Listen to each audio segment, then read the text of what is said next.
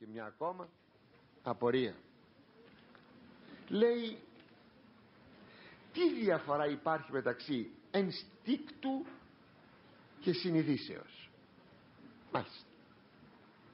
Το μεν ένστικτον κινείται άνευ λογικής η δε συνείδησης κινείται λογικός. Ή το μεν ένστικτο ε, στερείται γνώσεως και επιγνώσεως ενώ η συνείδησης έχει αυτήν την επίγνωση. Εξού και συνείδησης από το σύνειδα.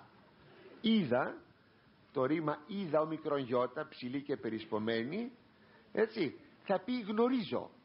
Συνεπώς από εκεί παράγεται η λέξη συνείδησης. Θα πει γνωρίζω έχω γνώση.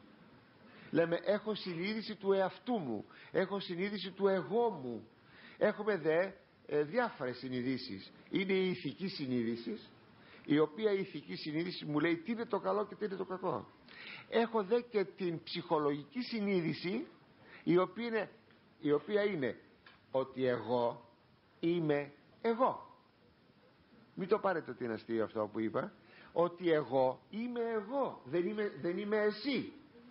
Έχω δηλαδή συνείδηση του ποιος είμαι εγώ το εγώ μου, το ψυχολογικό μου εγώ, το πρόσωπό μου. Τρίτον είναι η γνωστική συνείδηση. Είναι η συνείδηση εκείνη η οποία απλώς γνωρίζει πολλά πράγματα. Λέγεται γνωστική συνείδηση. Όταν λέγει ο Θεός εγώ είμαι εγώ είμαι Κύριος ο Θεός σου εκατοντάδες φορές επαναλαμβάνεται αυτό μέσα στην Παλαιά Διαθήκη. Εγώ είμαι, είμαι, είμαι Κύριος ο Θεός σου όταν λέει εγώ τι σημαίνει; Σημαίνει συνείδηση. Ας μου επιτραπεί να το πω παρότι στο Θεό δεν ταιριάζει αυτό θα το πω άλλη μια φορά δεν ταιριάζει στο Θεό.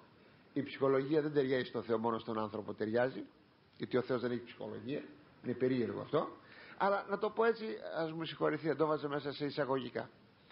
Ότι ο Θεός όταν λέει εγώ σημαίνει ότι έχει αυτήν την ψυχολογική συνείδηση ότι εγώ είμαι εγώ δεν, είμαι, δεν είναι κάποιος άλλος.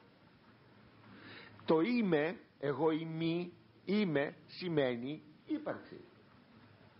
Συνεπώς βλέπετε αυτές οι δύο λεξούλες εγώ είμαι θα πει το ένα θα πει το ένα ότι υπάρχω συγγνώμη ότι έχω συνείδηση του προσώπου μου και το δεύτερο το ημί ημί ε ψηλή μη γιώτα θα πει εγώ είμαι έχω συνείδηση της υπάρξεώς μου. Έτσι αυτό είναι η συνείδηση. Το ένστικτο είναι κάτι το οποίο κινείται παρά την ανθρωπίνη λογική. Πλην όμως φέρει πιν πεινό είναι το ένστικτο της αυτοσυντηρήσεως. Θέλω δεν θέλω πεινώ. Φερρυπίν δεν είναι ανάγκη να βάλω το ξυπνητήρι να μου θυμίσει ότι πεινάω ότι πρέπει να φάω ή έχω ξυπνητήρι δεν έχω ξυπνητήρι έχω ένα άλλο ξυπνητήρι μέσα μου που με γουργουλάει η κοιλιά μου το στομάχι μου και μου λέει πεινάς γιατί, γιατί απλούστατα με τον τρόπο αυτό μου θυμίζει ότι πρέπει να φάω. Διότι αλλιώτικα θα καταδικαστώ σε θάνατο αν δεν φάω. Αυτό λέγεται ένστικτο. Έχουμε διάφορα ένστικτα. Και το γενετήσιο ένστικτο είναι. Προσέξτε όμως, προσέξτε όμως, προσέξτε όμως τα ένστικτα παρότι λειτουργούν έξω από την λογική είναι μηχανισμός. Πως να το κάνουμε; Όπως το ρολόι που θα χτυπήσει τώρα που το κουρδίσαμε αυτό είναι μηχανικό.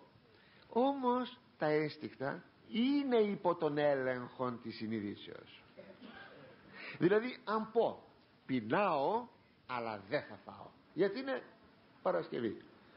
Είπα θα μείνω όλη μέρα νηστικός μα πεινάω δεν θα φάω τι σημαίνει αυτό; Ότι το ένστικτο ελέγχεται από την συνείδηση.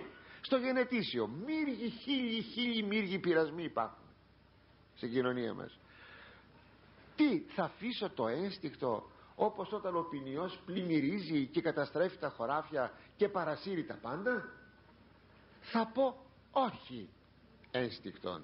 Ελέγχεσαι. Από τι; Από τη λογική από τη συνείδηση δεν το θέλει ο Θεός. Δεν πρέπει. Αμέσως το ένστικτο μπαίνει στη, στην κήτη του μέσα όπως ακριβώς στην κήτη μπαίνει και ο ποταμός και δεν κάνει πια ζημιά. Έτσι να τελειώσουμε αυτό ε, ναι άλλο είναι το ένστικτο άλλο είναι η συνείδηση σας εξήγησα. Θα επαναλάβω όμως ότι το ένστικτο ελέγχεται από την συνείδηση